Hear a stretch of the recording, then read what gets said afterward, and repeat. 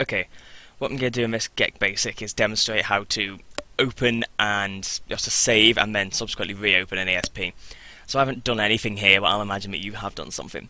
Usually I like to save before I've even started, in case I like, mess something up or destroy something in the game. I'll, I'll call this uh, ESP. Shoot. And now I'll close. I'd imagine that, yeah, I've closed the GECK, I don't want to go off and do something else. And closing the GECK can take anywhere between happening right away and happening and uh, taking ages. So there we go, that happened quite quickly because I just clicked and it said not responding. so now I'll open the ESP.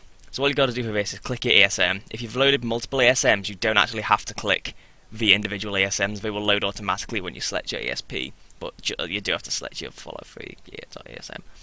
Scroll down to the last one you worked on, which in case is ESP. Double click so this little cross appears. Set active file, and now it says active file, and I hit OK. And I wait for anywhere between a very short amount of time and a very long amount of time.